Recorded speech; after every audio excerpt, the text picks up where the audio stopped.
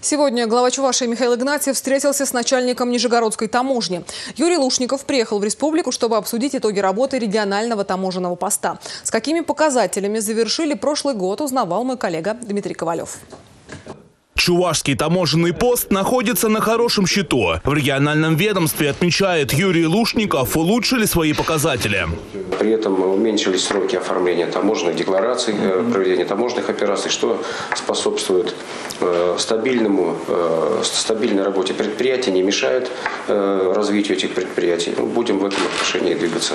Я помню времена, когда очень сложно было, и законодательная база, она была несовершенна, по сути дела, потому что законодатели отставали, а таможенникам надо было и растамаживать, и отправлять грузы на, на экспорт.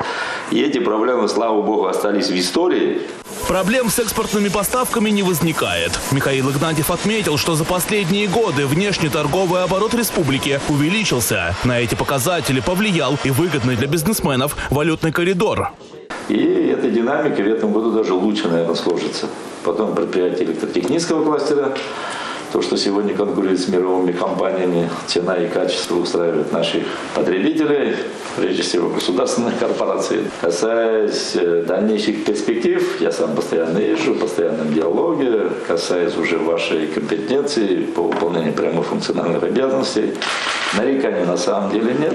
Все вопросы разрешаются по тем материалам, по тем товарам, которые прибывают. Соответственно, по линии импорта, когда на экспорт отправляют, очень быстро, оперативно. Поэтому хочу выразить слова искренней благодарности. Мы эффективно и конструктивно взаимодействуем, работаем.